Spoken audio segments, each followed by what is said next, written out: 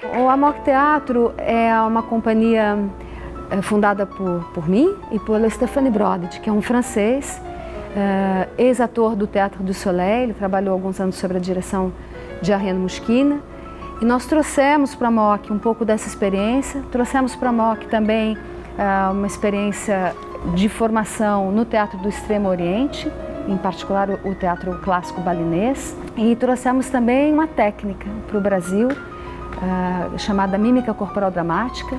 É uma técnica desenvolvida por um mestre pedagogo francês chamado Etienne Decroux.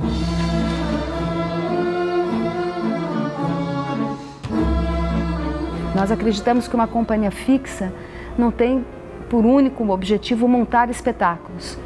É, eles são importantes, é a nossa forma de nos comunicarmos com o público, mas uma companhia fixa, ela tem uma preocupação em gerar uma cultura em permanência e não só objetos efêmeros é, de entretenimento. Então, é, nós acreditamos no teatro como uma forma de arte, nós acreditamos na arte como algo fundamental para a saúde da sociedade. Então, nós levamos a sério a ideia de que essa investigação, essa produção artística, ela tem que se dar ao longo do, do ano todo e não somente quando estamos em cartaz com o espetáculo. E para que o ator seja capaz de produzir poesia, de criar poeticamente, ele precisa de técnicas que dê a ele os meios para que ele possa criar.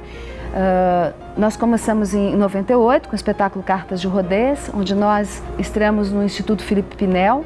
E depois dessa etapa, nós mergulhamos numa grande pesquisa sobre o teatro e sua relação com a realidade. Foi o projeto da Trilogia da Guerra.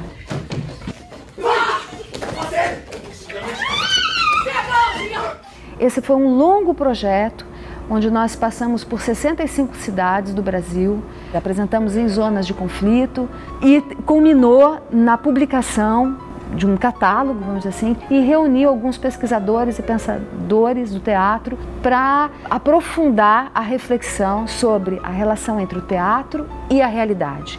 Terminamos esse ciclo e fomos então em direção a um novo projeto uh, chamado que, que se inaugura agora com o espetáculo Salina, Uh, do ponto de vista da linguagem e da pesquisa cênica, trata-se de uma pesquisa entre teatro e rito e formas rituais. E é um, é um resultado, esse espetáculo é resultado de um longo projeto também, e um projeto que foi pautado pelo tema do deslocamento.